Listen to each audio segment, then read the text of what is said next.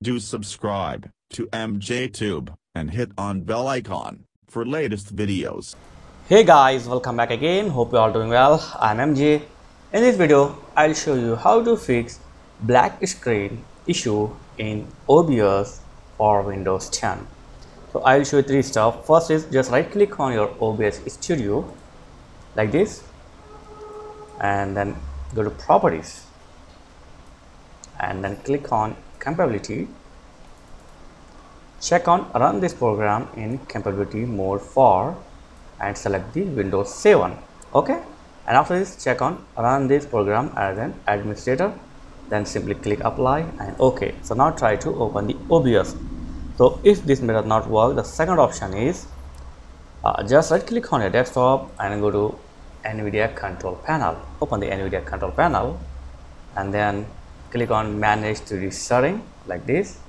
And under the global setting here choose the integrated graphic okay?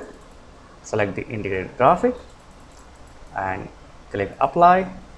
After this click on program settings okay? And here uh, select a program to customize. Select the OBS that means open broadcaster software.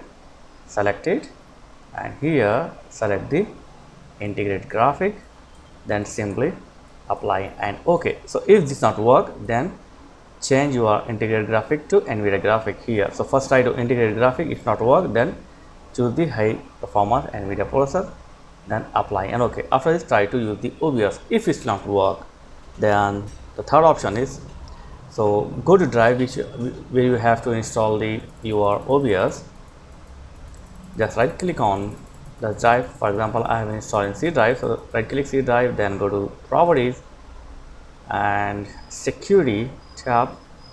Okay open it and select your administrator and then add it.